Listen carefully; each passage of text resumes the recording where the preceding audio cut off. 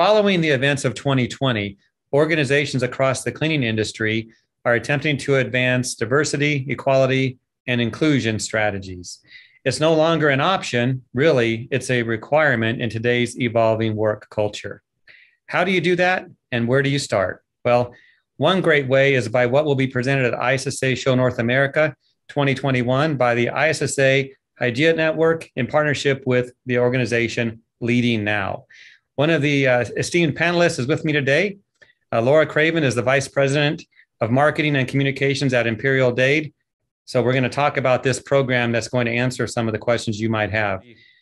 Laura, the panel you're involved with is called Keys to Driving Your DEI Strategies. It's on Monday, November 15th at 3 p.m. Pacific time. So thank you for joining us today. Can you tell us what this is about and why people should be there for this panel discussion? Thanks, Jeff. Absolutely. DE&I has become a major topic throughout our industry and really most industries um, across the country.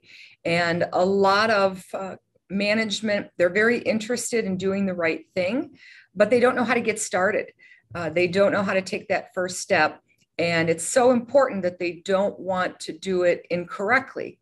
So our, our panel is really geared around an open and honest conversation among a great group of folks uh, led by Gretchen Sussan from Leading Now.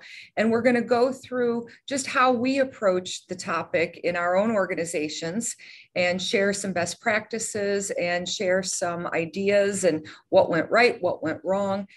So, no matter what type of organization you're managing, your customers want to know what your strategy is around diversity, equity, and inclusion. And you need to have some answers and you need to have them ready.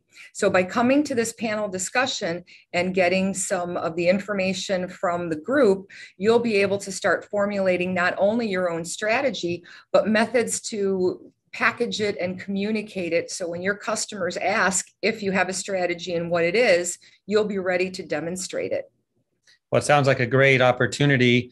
And how many total panelists are going to be involved with this? So we have four panelists and one moderator. So it's a nice group from different uh, different types of companies within the cleaning industry.